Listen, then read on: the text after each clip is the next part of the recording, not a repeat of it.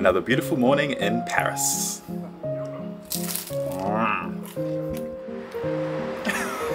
So we've been to a boulangerie, we've got ourselves some breakfast, and we're ready for the day.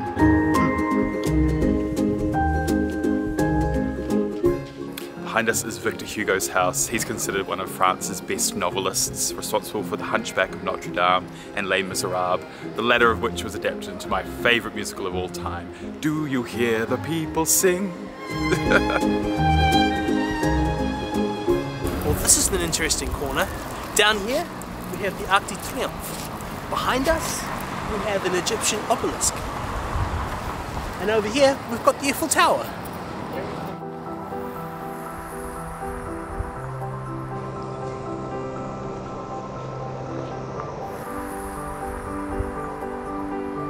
Right now, we're headed to the Arc de Triomphe. The Arc de Triomphe behind us is a monument honouring uh, soldiers who fought and fell in the French Revolutionary and Napoleonic Wars. It's vast yet elegant, one's eyes drawn to its perfect curvature. Check out this for a glamorous tunnel.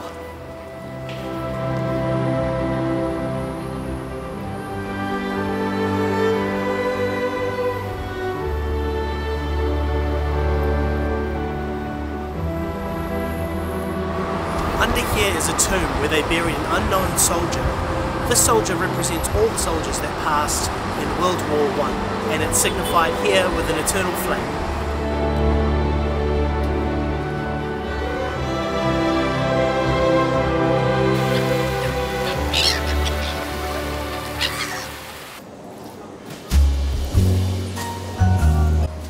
Stumbled across the Christmas market.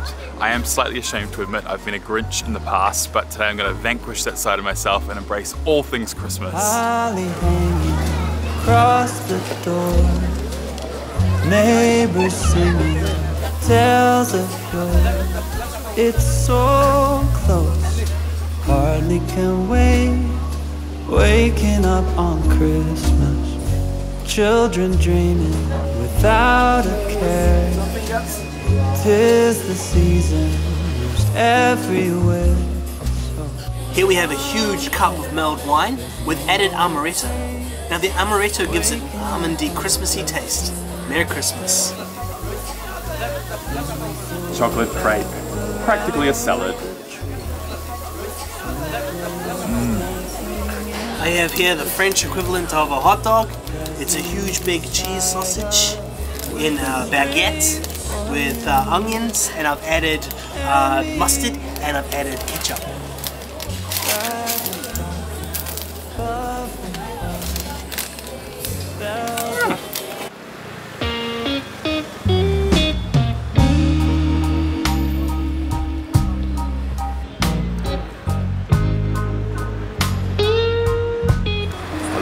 We're in Montmartre in the 18th arrondissement. This was once an artist's haven that was home to Pablo Picasso and Salvador Dali. And tonight we're going to a cabaret show at the Moulin Rouge. Yes, bucket list.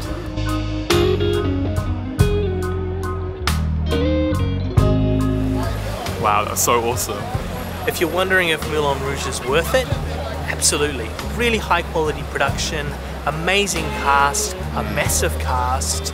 On a technical level, amazing lighting, Amazing costumes, set Yeah. changes, it was all so slick. great audio, good hosting. They come sit you down where you should be seated. Live sea snakes, who would have thought? Yeah, a Perspex swim tank rises out from the floor at one point, full of snakes that one of the dancers swims in. And there was a real mix of items too. There was some was. acrobatics, live singing, can-can dancing, Yes. um, really sensual stuff. Um, be prepared for a bit of nudity. That's part of the show. But it's really tasteful. Yeah, really, really cool. And with some circus kind of elements as well. Balancing and lifting. And it's a really exciting show. I highly recommend go. Yeah, worth the investment. Now we're heading back to the Marais district uh, to get some drinks.